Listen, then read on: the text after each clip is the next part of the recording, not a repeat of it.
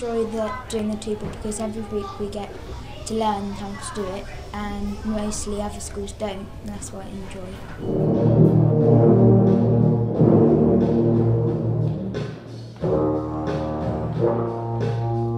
What I particularly like about these sorts of projects is that uh, our children are all participating. So we have the whole class learning to play the tuba. And for many children, they would never have this sort of opportunity.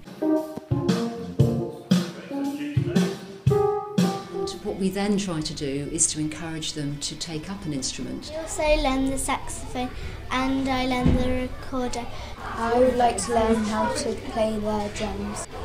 I would like to play the flute.